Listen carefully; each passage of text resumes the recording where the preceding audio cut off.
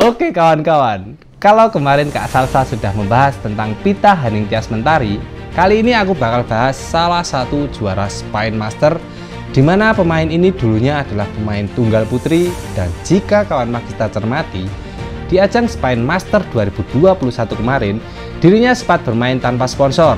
Siapa lagi dia kalau bukan Feby Valencia Dwi Jayanti Gani.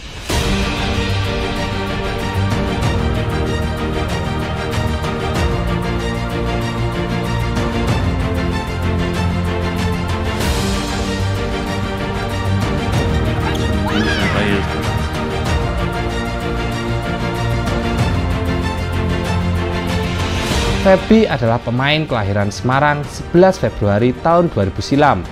Dirinya mengawali karir sebagai pemain tunggal putri bersama PB Karisma sebelum akhirnya memilih PB Altrek Semarang untuk terus mengasah bakatnya. Berkat permainan dan posturnya yang menunjang, saat itu Feby yang disponsori oleh produk Prowin diajak untuk bergabung dengan CWIBC di Serpong, Tangerang. Awalnya Feby masih bermain untuk sektor tunggal, Barulah ketika ada kejuaraan pembangunan jaya di daerah Senayan, Feby dipartnerkan di sektor ganda putri bersama pemain yang sekarang menjadi pemain X Jarum.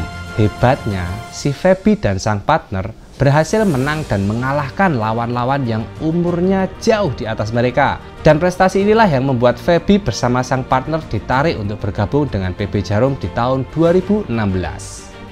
Di PB Jarum sendiri, kemampuan dan prestasi Feby terus mengalami peningkatan. Dirinya sempat dijuluki si Ratu Sirnas ketika mampu mengantongi gelar juara sirkuit nasional tiga kali berturut-turut di tahun 2017. Dan puncaknya, Feby berhasil menjuarai kejurnas untuk membawa dirinya bergabung ke pelatnas di tahun yang sama. Di pelatnas sendiri, prestasi Feby nggak langsung moncer seperti saat ini guys. Dilansir dari situs resmi BWF, Feby pernah mencoba turun di ajang BCA Indonesia Open 2017 bersama Lisa Ayu Kusumawati. Namun keduanya kandas di babak penyisihan oleh pasangan Febriana Dwi Puji dan Ripka Sugiarto. Setahun kemudian, Feby kembali mencoba Daihatsu Indonesia Master bersama Lisa. Dan lagi-lagi, keduanya hanya mampu bertahan di babak 32 besar setelah kalah dari ganda putri Korea. Barulah di tahun 2020 kemarin ketika ada home turnamen PBSI, sosok Feby mulai mencuri perhatian publik guys. Ketika dirinya mampu menjadi juara tiga bersama Grecia Poli.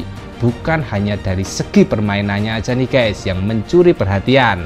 Melainkan juga postur dan wajahnya yang cukup manis menjadi daya tarik tersendiri bagi badminton lovers Indonesia.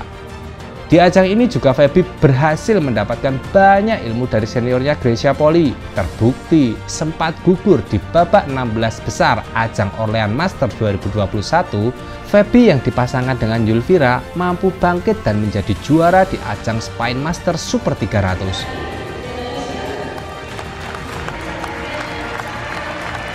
Hebatnya lagi, hampir di semua pertandingan, Feby ini selalu menang dua set langsung hanya ketika di perempat final bertemu dengan rekan senegaranya, si Nita Violina Markah dan Putri Saikah, kedua pasangan bermain alot hingga tiga set dengan total waktu hampir satu jam setengah.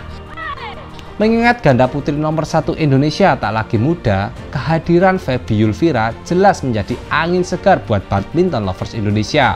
Perpaduan akurasi bola Feby di belakang dengan kecepatan intercept Yulvira di depan diharapkan mampu memperkuat prestasi di sektor ganda putri. Tapi pesanku sih ya jangan terlalu cepat berpuas dirilah. Tetap terus berlatih untuk mengembangkan stamina dan mentality. Dan mengenai sponsor yang menempel di perangkat Feby, kalau kan Magista cermati, brand tersebut baru muncul ketika Feby berlaga di semifinal. Hal ini terbukti guys, ketika salah satu narasumber dari Magista 8 menanyakan perihal tersebut, Feby pun menjawab bahwa dirinya sempat membeli baju polos dan memakai baju yang lama.